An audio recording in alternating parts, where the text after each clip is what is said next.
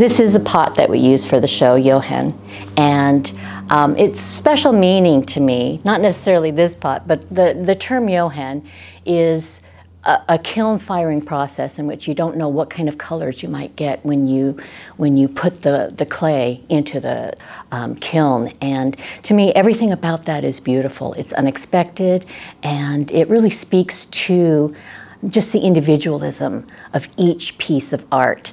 And so in Yohen, I was really drawn to the interracial aspect of this couple who, after 37 years, are undergoing a trial separation. And in this discussion, the, the conversations that they have in the play, they talk about um, their cultural divides, but also the, the love that brings them together, that brought them together originally.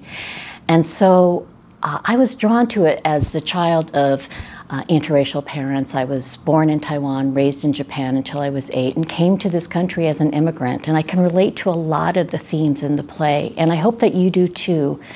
And I'm just really thrilled to be working with the actors who are doing such a fabulous job, and it's a beautiful play with beautiful designers. So I hope that you can come see Yohen